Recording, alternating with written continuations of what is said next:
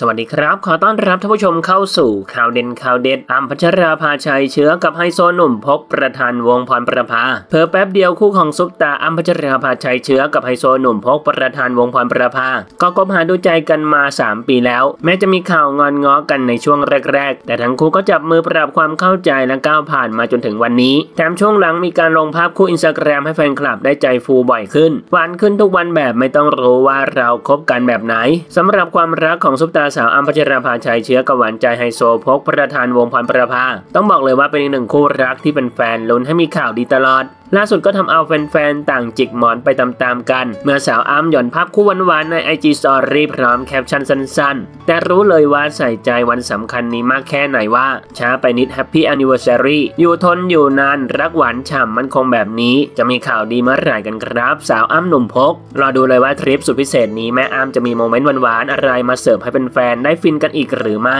กดติดตาม IG แม่ไว้เลยครับ งานนี้มีลุ้นท่านผู้ชมละครับ มีความคิดเห็นอย่างไรกับเรื่องนี้ลองแสดงความคิดเห็นกันเข้ามาดูนะครับ ขอขอบคุณข้อมูลจากมุมข่าวขอบคุณครับ